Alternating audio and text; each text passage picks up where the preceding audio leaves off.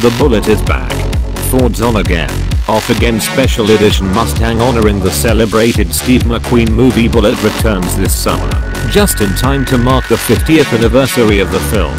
This is the third time Ford has offered a Bullitt branded special edition, following previous versions in the 2001 and in the 2008 minus 2009 model years.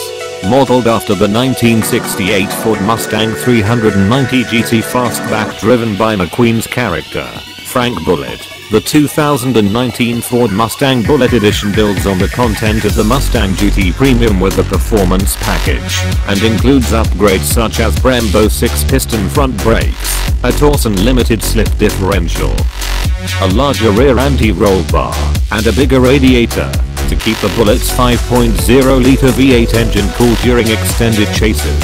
It needs more cooling because the Bullitt turns the heat up of the burly V8's performance courtesy of an intake manifold cribbed from the Shelby GT350, 87mm throttle bodies, and a recalibrated powertrain control module. These changes result in a total of 475 horsepower, or 15 more than the run-of-the-mill Mustang GT, and help the Bullitt achieve a top speed of 163 mph 8 miles per hour more than the Mustang Great. Torque holds steady at 420 lb-ft, and a 6-speed manual is the sole transmission offered. To better channel the spirit of the original movie car, the 2019 Mustang Bullitt has been stripped of almost all exterior badging.